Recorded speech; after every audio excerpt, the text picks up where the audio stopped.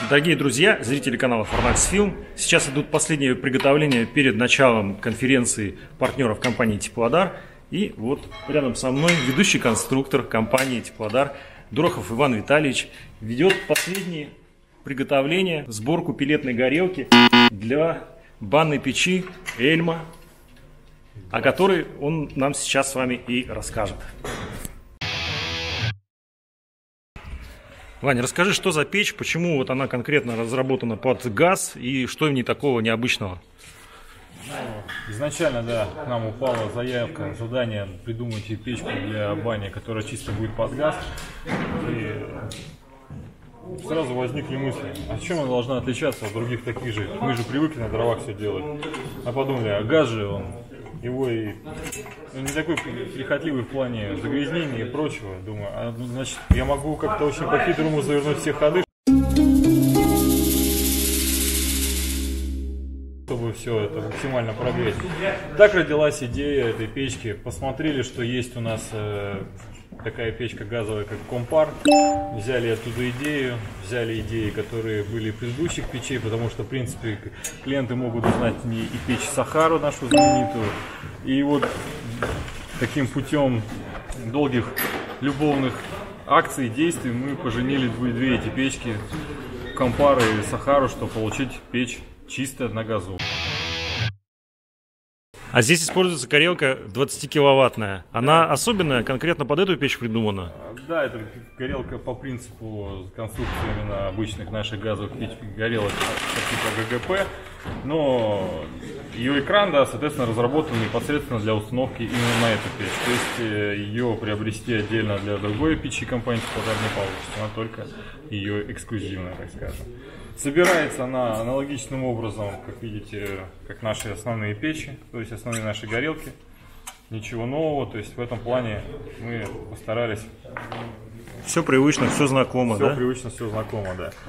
Тут, наверное, в большей степени интересно будет твоим подписчикам, что внутри, что вот здесь, вот в этом. Слушай, ну здорово. Ну давай тогда сейчас горелку дождемся, когда ты установишь, а потом в целом про печь расскажи, что в ней такого особенного. Давай. Ваня, расскажи, пожалуйста, вот э, понятно, что газовая горелка, мы ее сейчас покажем, как она встраивается, а вот мне более интересно вот именно э, идея ходов дымовых газов, как она здесь устроена и что за что элемент, какой элемент э, каменки отвечает. Да, конечно. Значит, смотри, здесь, как я говорил изначально, она похожа ее идея от компара, поэтому здесь э, тот же самый принцип реализован, по сути дела, этой печки. То есть заход э, пламени изначально происходит вот по вот этой задней стенке. Подожди, снизу. сейчас фонарь возьму. Да, вот О, да, то есть э, у нас получается, вот за этой стенкой там находится э, первый ход пламени. Далее он поднимается и распределяется по вот этим двум боковым каналам. То есть нижние боковые каналы это э, ход газов. Первый ход газов, да, такой. Соответственно, здесь в эту область он э, тоже они вместе сходятся и распределяются уже на верхний ход газов. Для того, чтобы и самого изначально стартанула, стартанула печь, и чтобы дымоход прогреть, потому что, сами понимаете, здесь насчет ее многооборотной системы КПД и, и температура на выходе дымохода очень низкая, соответственно, дымоход реально чуть ли не холодный. Поэтому на первом, между первым и вторым ходом вот по этой стенке, вот здесь, например, промежуток находится э, дополнительная еще пластина отбойник с зазором чтобы создать некоторый прямоток сразу уже на старте. Угу. И получается следующим образом, что у нас со всех сторон, то есть изначально на старте прогревается вот эта часть э, активно, чтобы прогреть нам дымоход потихоньку в процессе э, испытаний мы смотрели, через полчаса они две, стенки равномерно выравниваются, ее температура, и как видите, получается все ее элементы, вот эти газоводы, они активно участвует в ее прогреве каменки. Ага. То есть она в полностью прогреваемом состоянии находится. Вань, скажи, пожалуйста, вот я здесь вижу, что каменка-то довольно глубокая. Это именно э, следствие того, что каменку опустили, не требуется э, высокое пламя, да, да. и как бы, то есть у газовой горелки низкое пламя, и поэтому можно сделать каменку большего объема. Все верно ты подметил. Где-то килограмм 60-80, наверное, да? Может ну, даже больше? Мы померили примерно 60-70, у нас здесь помещается. Угу. И так, и так оно и есть. Тоже прошу заметить, э, ну да, как я уже говорил, что она чем-то похожа на Сахару. У нас даже ребята, которые собирают печи в цехе, говорят, а что вы Сахару не сделали? Uh-huh. Я говорю, ну не сделали. Сахары столько оборотов не получится. Вот. А здесь ну, как раз за счет этого максимально... Ну да, но Сахара тоже дурная печка такая, очень жаркая. А расскажи, как вода распределяется. Значит, да, как вы, наверное, заметили, что здесь есть э, у нас вороночка специальная, давайте ее вытащим. Соответственно, по эту, через эту воронку в этот канал э, у нас поступает водичка вот в эту область, в эту секцию, которая равномерно ну, распределяется по двум сторонам. То есть у нас здесь между вот этими верхними каналами располагается, нас здесь может, если там Сейчас как... попробуем мы туда да, подлезть. Там находится специальный канал. Сейчас, с отверстиями, чтобы водичку равномерно распределить по всей глубине топки. Мы проводили испытания, то есть смотрели, замеряли температуру на камнях, э, чтобы определить наиболее на термонагретую область, да, куда подать воду максимально оптимальным образом. И это выяснилось, что это, естественно, это дно, куда бьется у нас э, пламя горелки. Но здесь мы вспомнили не, не самый богатый, не самый лучший опыт компара, что проблемы с дном были.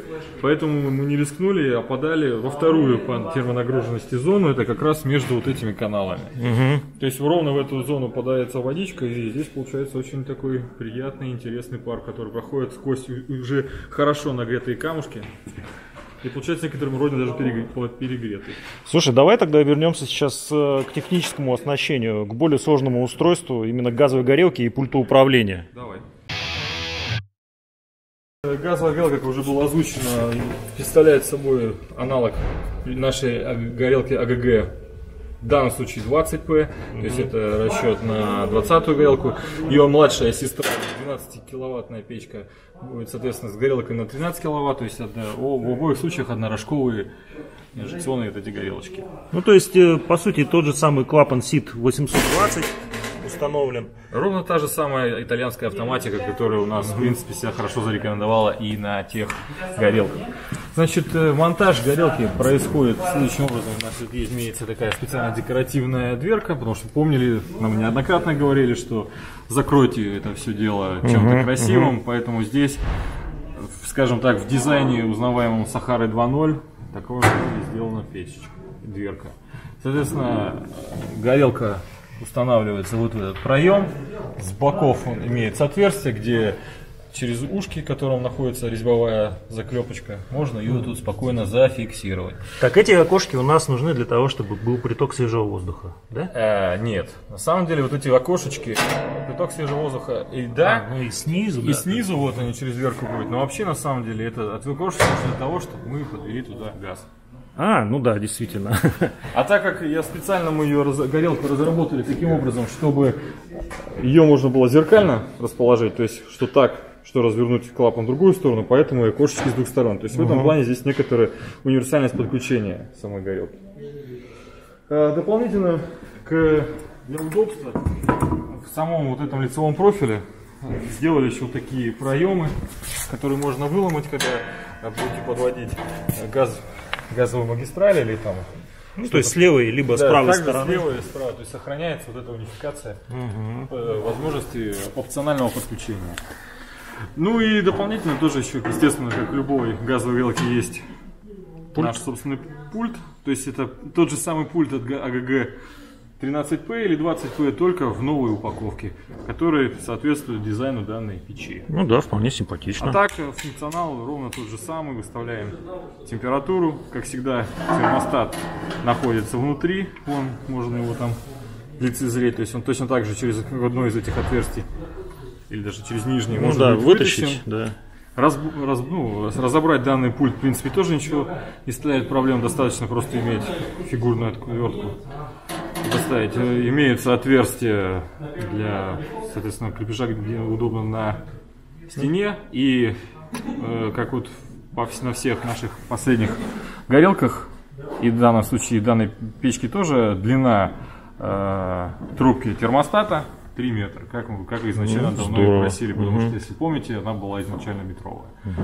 Были претензии, поэтому вот уже с этого года, если кто, допустим, не знает, все горелки постав... печные поставляются с термостатом длиной 3 метра, для котловых полтора. Специально сохранили дизайн печи Сахара, потому что, как показал практика и, в принципе, реакция рынка, очень удачно угадали с этой форм-фактором, поэтому решили не лукавить не придумать что-то новое, применили ее в том же самом виде, но в другом цвете, чтобы хоть как-то отделить линейку именно газовых печей. Ну, мне кажется, у вас получилось довольно симпатично. Печь интересная. Теперь мы ждем цены и ждем, когда появится в наших магазинах. Повторю, в принципе, в линейке печей Эльма планируется 4 печи, то есть это две мощностных, это 12-20 и двух видов, это обычная и регистровая, то есть вариант с ЛГР. То есть это, если не ошибаюсь, а, ну это обычный ЛГР, а ЛГР это как по принципу наших печей с регистровок, как типа Сибири, то есть боковой регистр, который также может быть навешен с любой стороны, в зависимости от... Что ж, друзья, будем вместе следить за судьбой этой новинки, ждем, когда она появится в наших магазинах. Ну, а Ивана я благодарю за, подробную, за подробный рассказ про эту необычную новинку для компании Теплодар. Да, пожалуйста, обращайтесь.